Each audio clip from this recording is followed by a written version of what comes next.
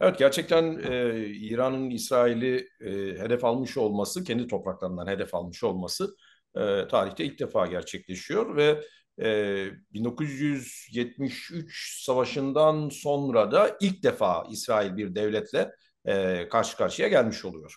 Yani bu e, ciddi bir e, dönüm noktası olabilir bundan sonrası için. Tabii e, yani bunu çok kötü senaryolar hemen yarın savaş başlıyor anlamında falan söylemiyorum ama ne olursa olsun her bir adım e, dikkat edecek olursak bizi biraz daha e, gerilimin artmasına ve sebep oluyor ve bizi biraz daha uçurumun kenarına getiriyor doğrusu. Yani insanlık olarak, e, yer küre olarak e, oraya doğru gidiyoruz. E, tabii son aylarda özellikle yaşanan bir takım e, gelişmeler e, buna e, buna hız kazandırdı. Buna sebep değil elbette. O, o, o gelişmeleri de bir takım şeylerin sonucu olarak sayabiliriz. Dolayısıyla bu iş daha çok gerilere kadar gidebilir. Ama ne olursa olsun e, artık e, yeryüzündeki düzenin, e, egemenlerin e, düzeninin artık e, kaldırmadığını e, ve bir, bir takım yerlerden bu türden e, arızalar vermeye başladığını görüyoruz tırnak içinde. Dolayısıyla da e, bu herhangi bir e, sebeple olacak zaten. E, bunların en başında tabii ekonomi gelir. Yani bütün bu savaşların temelinde bu var. Ama başka bir takım tezahürlerle çıkıyor. İşte şimdi mesela İsrail-Filistin meselesiyle çıktı. Fakat ne olursa olsun e, gerilim daha da artıyor ve e, gerçekten de İsrail'in İran'ı hedef almış olması yani İran toprağı sayılan uluslararası hukuka göre bir mekanı hedef almış olması e, bu şeyi e, tehlikeyi daha da arttırdı ve bu e, sarmalı daha da hızlandırdı. Öyle görünüyor. Demek ki bu ülkelerle İran arası hiç de iyi değil. İkincisi e, İsrail ile İran arasında ideolojik olarak da, dinsel olarak da, siyasal olarak da, ekonomik olarak da gerçekten ciddi bir rekabet söz konusu. Aynı, aynı İran daha düne kadar örneğin e, Suudi Arabistan ya da Körfez ülkeleriyle yine ilişkileri çok kötüydü. Bu ülkelerin Amerika Birleşik Devletleri ile ilişkilerinin çok iyi olduğunu ve Filistin davasında herhangi bir şekilde İsrail'in lehine olacak şekilde sessiz kaldıklarını da biliyoruz. Yani bu işler sadece işte onun onunla gizli ilişkisi var vesaire gibi anlatılamaz. Dolayısıyla da İran'la İsrail arasında veya İran'la diğer Batı ülkeleri arasında e, bu konuyla ilgili olarak herhangi bir e, anlaşmanın olduğu yani bu işin senaryo olduğu yönündeki tezler ben bence tamamen asılsızdır.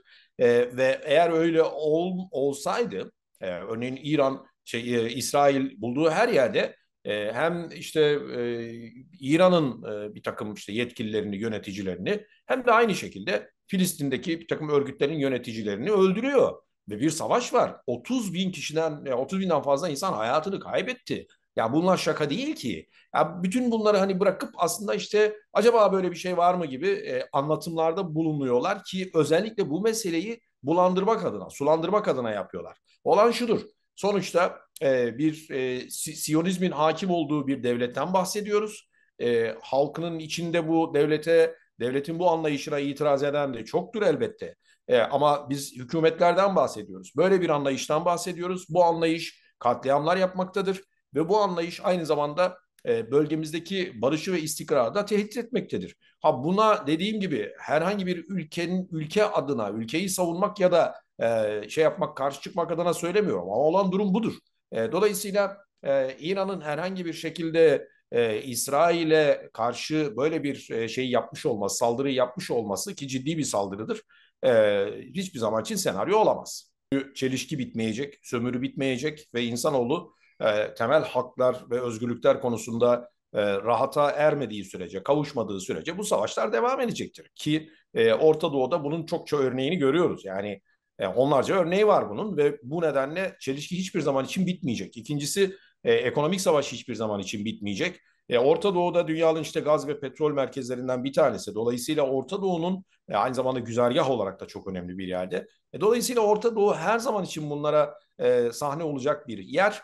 E, de İran, İsrail özeline bakacak olursak Filistin meselesi devam ettiği sürece e, bu savaş bitmez daha da daraltacak olursak ikili ilişkiler e, ilişkilerine bakacak olursak evet İsrail böyle bir şey söyledi, İran da böyle bir şey söyledi. Yani bundan sonra ya bu meselenin kendileri için kapandığını ifade etti ama e, çılgın yöneticiler var ve bunların ne zaman ne için emir vereceklerini, ne yapacaklarını bilemeyiz. E, dolayısıyla e, İsrail için de aynı durum geçerli ve ben Netanyahu iktidarda kaldığı sürece e, bu tehlikenin e, var olduğunu düşünüyorum. Hatta Netanyahu ile sınırlı değil bu. Yani sağcı e, iktidarlar dünyada nerede olurlarsa olsunlar e, iktidarda olduğu sürece, görevde olduğu sürece bu tehlike her zaman için vardır, var olacaktır. Dolayısıyla ben e, bu meselenin bittiğini düşünmüyorum. Ya bu mesele özelinde belki hani bitti denilebilir ama yarın başka bir şeyle devam edecektir. Başka bir şey çıkacaktır mutlaka.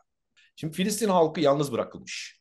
Sonuçta e, Arap ülkeleri, monarşiler hangisi olursa olsun bunlar e, Filistin Filistin'i yalnız bırakmışlar. Filistin'e destek veren evet birkaç ülke, birkaç lider var ve vardı e, tarihte zamanında ama e, bunların şu anda çok da yardım edebilecek durumda olmadıklarını görüyoruz, biliyoruz. E, diğer taraftansa e, örgütlere bakacak olursak, Filistin'deki örgütlere bakacak olursak, şimdi bunların dışında Filistin'in herhangi bir Filistin halkının herhangi bir gücü yok.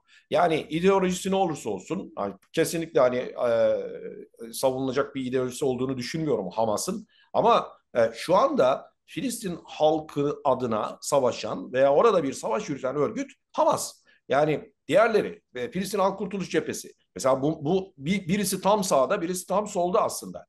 Fakat buna rağmen ne yapıyorlar? Bir siyasal dava e, haklar temel haklar temelinde bir davayı devam ettirmek için işbirliği yapabiliyorlar. E, demek ki bu e, bu güçler var ve bu güçler daha da güçlü bir şekilde e, devam edecekler gibi görünüyor. Çünkü bu kadar kayıp sonrasında acaba Filistinler kaybetti mi e, gibi bir soru soruluyor. Ben öyle olduğunu düşünmüyorum. Kayıp çok mu? Evet çok. E, fakat unutmayalım ki e, dünyada hani bu türden bedeller ödenmeden de e, özgürlük elde edilemiyor. Yani o yüzden hani bu buna değer mi değmez mi diye bir e, soru bence çok da anlamlı değil. Çünkü zaten Filistin halkı e, yavaşlatılmış bir e, soykırım yaşıyor. Zaten yaşıyorlardı bunu. Şimdi bunu 7 Ekim'den sonra İsrail hızlandırmış oldu sadece. Başka hiçbir e, ta, tanım değişikliği yok yani bu soykırımda, yaşadıkları soykırımda. Ama İran'ın bu saldırısıyla beraber, daha doğrusu İranlar önce Hamas'ın saldırısıyla beraber, örgütlerin direnmesiyle beraber, e, İsrail'in kara saldırısında başarılı olmamasıyla beraber, Hizbullah'ın işte destek vermesiyle beraber ne oldu? E, gerçekten de Filistin halkı açısından moral verici bir e, durum ortaya çıktı ve bundan sonra kendi haklarını daha yüksek sesle ve daha rahat bir şekilde e, dile getirebilirler. Yani bu mücadele kendileri açısından böyle devam edecek. Bence öyle görünüyor. Bugünlerde zannediyorum e, bütün bu gerginlikler, yaşanan gerginlikler herkes için bir ders oldu ve e, artık pozisyonlarını ülkeler buna göre ayarlıyorlar. E, o yüzden e, kısa dönemde e, eğer şartlı söylüyorum bunu tabii eğer Netanyahu bir çılgınlık yapmazsa e, ben çok da önemli bir şey yaşanacağını düşünmüyorum. Ama Orta Doğu'dayız. Her an, her saat, her şeyin değişebileceğini kesinlikle unutmamak lazım. Ya tarihte bu böyleydi, dün de böyleydi, bugün de böyle. Elbette bütün bunlar bize gösteriyor ki yarın da böyle olabilir.